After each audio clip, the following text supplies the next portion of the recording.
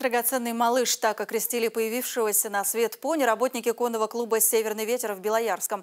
Жеребенок родился неделю назад у лошади по кличке Зажигалка, и появления его на свет никто не ожидал. Имя ему дали Рубин из-за окраса и белой отметины на лбу. От мамы малыш сейчас не отходит ни на шаг, питается, кстати, только ее молоком. Его уже приучают к людям, чтобы не боялся посетителей конного клуба. Новорожденный еще на неделю останется в деннике, потом будет выходить на улицу чуть позже, общаться с другими обитателями «Северного ветра».